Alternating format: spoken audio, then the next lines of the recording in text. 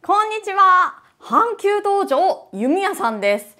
今日は私が愛用しているユニクロの超極暖ヒートテックシリーズを紹介したいと思います。私は1年の半分をこのヒートテックを着て過ごしています。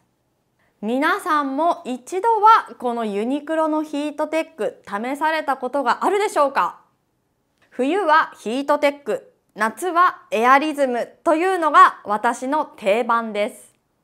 今日はユニクロ超極暖ヒートテックキッズサイズの160にフォーカスをして紹介したいと思います。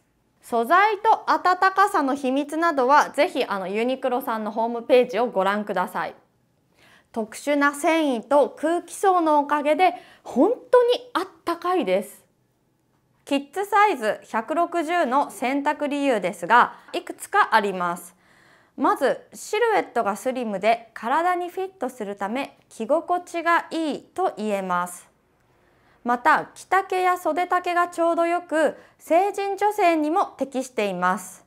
サイズ選びに迷ったらキッズサイズを試してみるのも一つの方法ですね。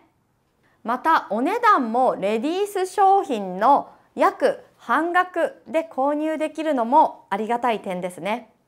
ちなみにレディースですと2990円キッズですと1500円で購入できます。お手入れ方法は洗濯機でそのまま洗えば大丈夫です。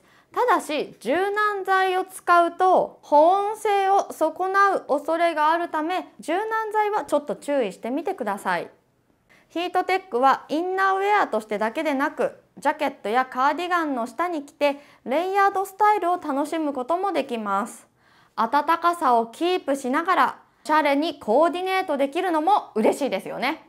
ということで今年買ったこの超極暖ヒートテックこれから秋口の季節に活躍すること間違いなしです。ぜひ参考にしてみてください。動画をご覧いただきありがとうございました。